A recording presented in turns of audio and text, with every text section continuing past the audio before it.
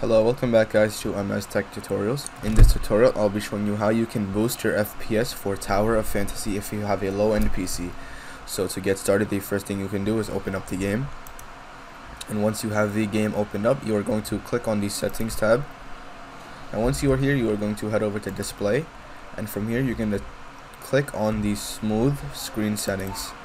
Then you're also going to change the same screen wander all the way to 5 and you're going to also change the anti-aliasing to none and you can put the FPS to whatever you like. 60 FPS is probably the best. Okay and you're also going to turn the shading off.